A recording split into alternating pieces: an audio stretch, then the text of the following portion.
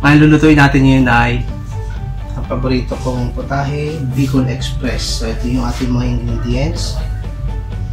Ah, Siyempre yung karne ng baboy. At yung mga ricado. So naka-prepare na siya.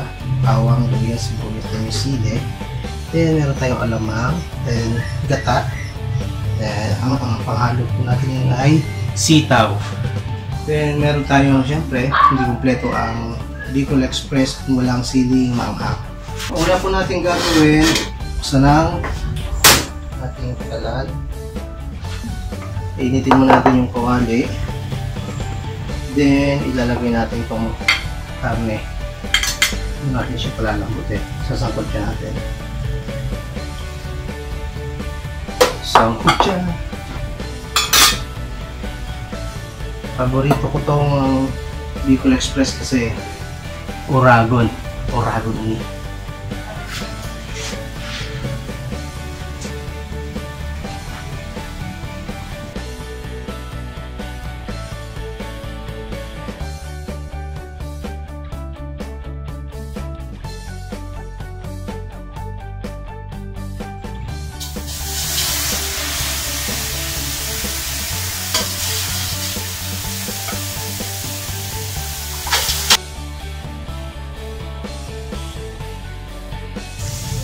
Pwede siya lagyan ng paminta.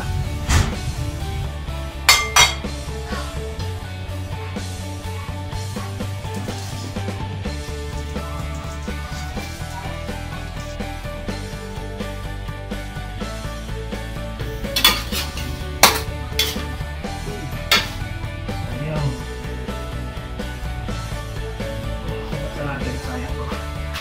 Make sure yung ating mga lutuin bago po natin umpisahan siyang iisa lang, make sure nagasan po natin ng maigi. Kailangan hugas na hugas po siya. Kahit yung ating mga gulay, dapat yung hugasan niya. Then yung ating alamang, dahil hindi natin alam yung pinagdaan ng process, kailangan hugasan natin.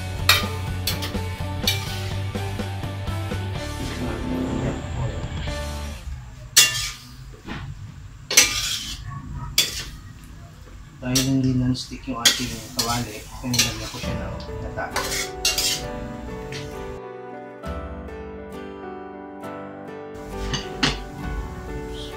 Na red rice. Now, now is the Rico Express.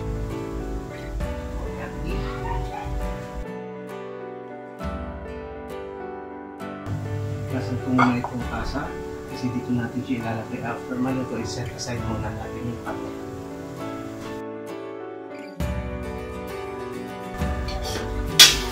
Gagamitin natin gata dito, yung pure. Yung tinatawag makakang gata. Bumili po kayo sa palengke, pwede naman po kayo kasadya yung makakang gata lang. Ako dito, ito na yung pangalawang gata. At bali ako na yung nakapalengke. Hmm. Tulog na?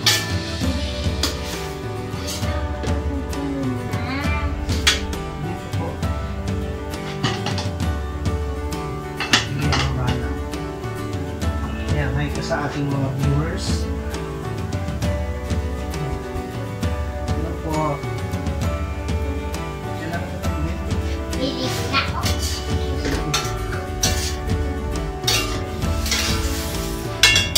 So, ang ating ah, recipe for today. Bicol Express. Ano, ala ano to?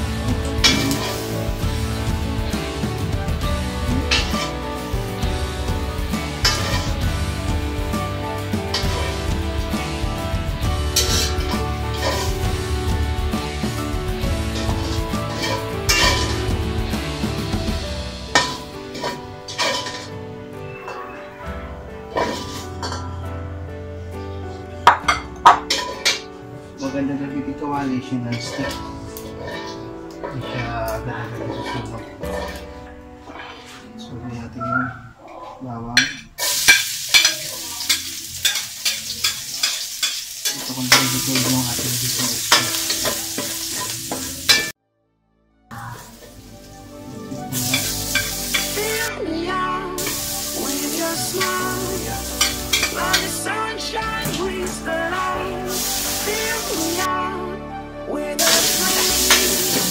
I will shoot Tulog na po ang ating Bicol Express. Dun sa ano, sa Galugong.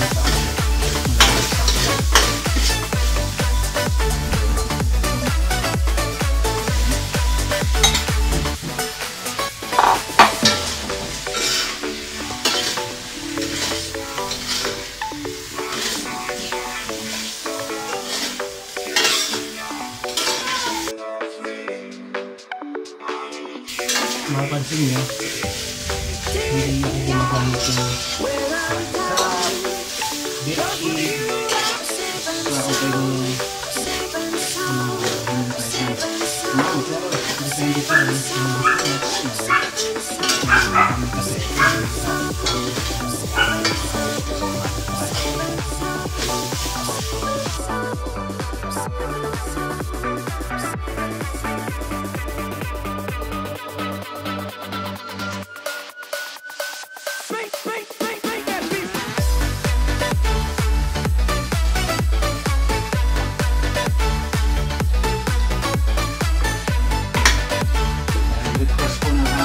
Gusto niya daw yung masarap.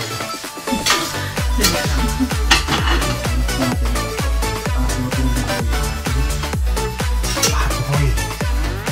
Baboy. Ba- Baboy. Pagka na ganito, yun na yung time para ilagay natin yung pure, fresh. Galing ko po itong palengke. Bali tatlong buong nyug to kasi ayoko nung tipid sa gata. Yun kasi yung nagpapalinam na po sa ating Bicol expert. I-ready nyo na ang inyong ah, kanin. Pang ah, maraming makakain. Yung al- alamang, kaya nagkaganito yung kulay niya. Gawa po ng ating alamang ah, may medyo kulay red. Pero kung gusto niyo hindi gato yung kulay, parang clear lang, dapat ang gamitin yung alamang, yung yung white, yung walang kulay, yung clear. Mas, mas maganda kung homemade po yung gagamitin ninyo alamang para puro. So next time, siguro yun naman ituturo ko, i-video paano gumawa ng homemade alamang.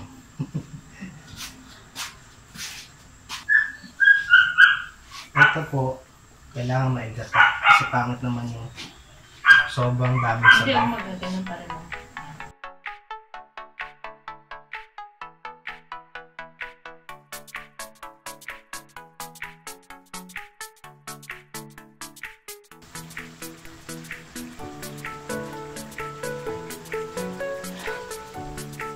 So dito, pwede na rin natin ilagay yung ating sitaw. Para paglagay natin yung tamang tamang maluto siya. Lagyan natin siya ng gulay, sitaw. Dapat mga uros na uros yung ating sitaw. Ah, ganda. Kung gusto niyo naman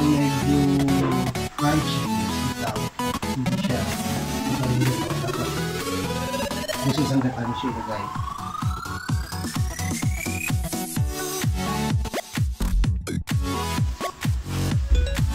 Mabilis tayo makakaluto ngayon kasi bago yung ating tumbler. Hindi tayo mabusa ng gas. Ito pa din natin yung pagluluto ng laing. Mabusa ng gas.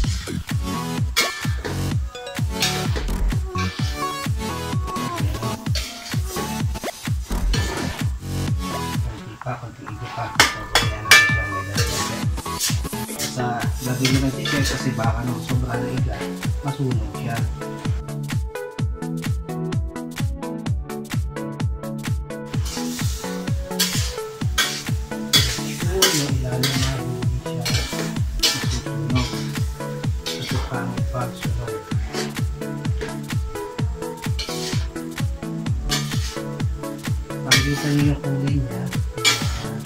Creamy look niya.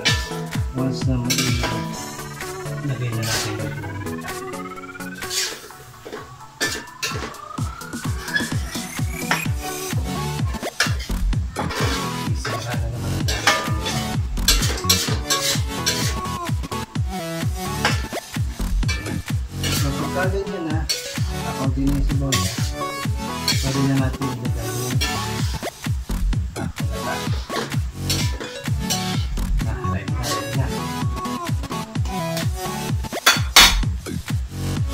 na ang pangkinali.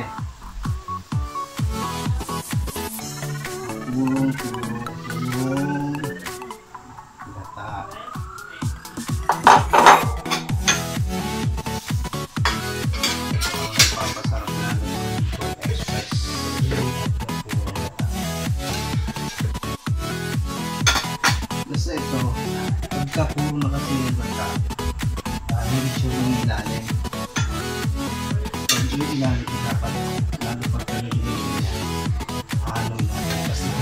Doon yung ilalim. Ito na kasi yung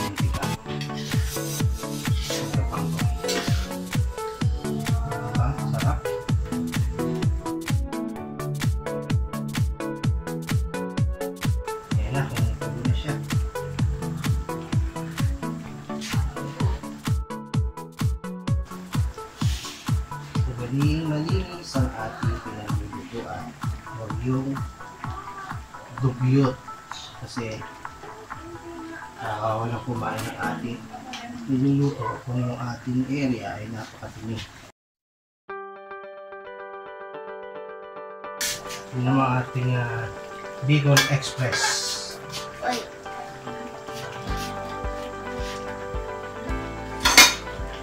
Bicol Express Uragon style.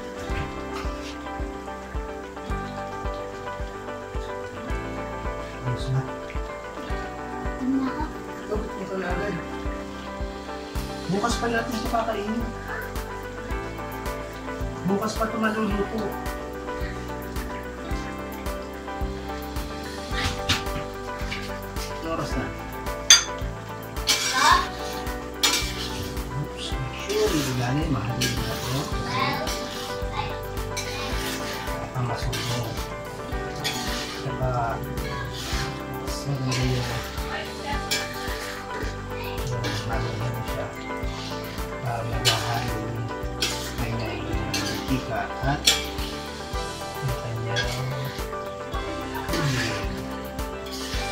Kasi, pag hindi natin hinalo, baka mag- maglatik yan.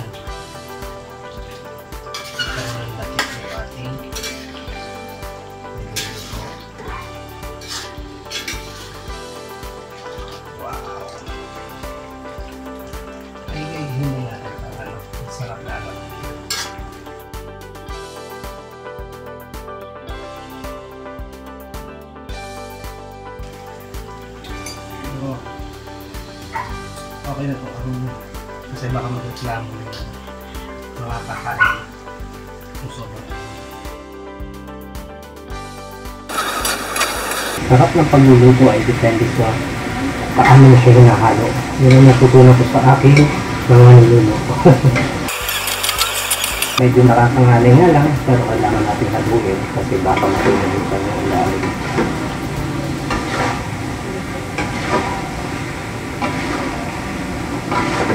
Yan, yan, yan. This is it. Ay, iba! Lumalabas lang sa inyo, magsara. Ah, sa ating mga viewers, don't forget to subscribe this video. Para sa iba po natin putahin na mapabigyan pang lutuin. Ito po. Kung sa November, di ba, trip namin, pwede ko sa mama. Malalaman. Ngayon po, malapit na po ma- maluto ang recipe. Ang ating recipe ay Bicol Express. Bicol Express. Ang ating Orago Bicol Express. So, yan. Ito na po ang ating Bicol Express. Pwede na po natin siyang serve. Pa, bakit Wow. minsan at gutom na ako. Serve ko na siya kasi gusto na ang ating mga chikiting. So, ayan. Para sa iba pa po po tayo. Make sure subscribe po ninyo ang aking channel para sa iba pa po natin lulutuin. Matikman po ninyo ang aking recipe. Ang mga alatsambang recipe. So, yan. Pwede na. Tingnan natin. Ah, sarap. Ito na po ang ating Orago Bicol Express.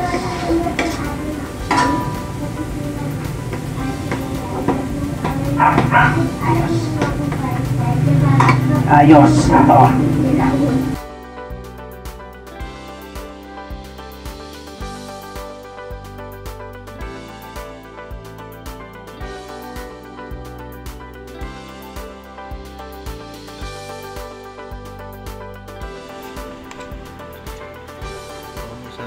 Sarap ng kain ni Ate Keisha.